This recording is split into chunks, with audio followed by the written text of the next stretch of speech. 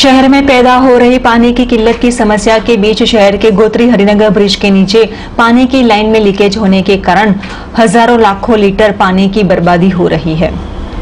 एक और वडोदरा शहर में पानी की किल्लत, पानी की समस्या पैदा हो रही है तो वहीं कॉरपोरेशन की लापरवाह कामगिरी की बदौलत पानी की लाइन में लीकेज के साथ पानी की बर्बादी के भी दृश्य अब आम बन रहे हैं। शहर के गोत्री हरिनगर ब्रिज के नीचे से गुजरती वैसी पानी की लाइन में लीकेज होने के कारण यहाँ पर हज़ारों लाखों लीटर पानी की बर्बादी होते हुए रोड पर पानी बेफिजुल बह रहा है। तो वहीं पानी बर्बादी के बीच वाहन चालकों की भी परेशानी बढ़ रही है। जहाँ पश्चिम विस्तार में एक बार फिर पानी की लाइन में लीकेज होते हुए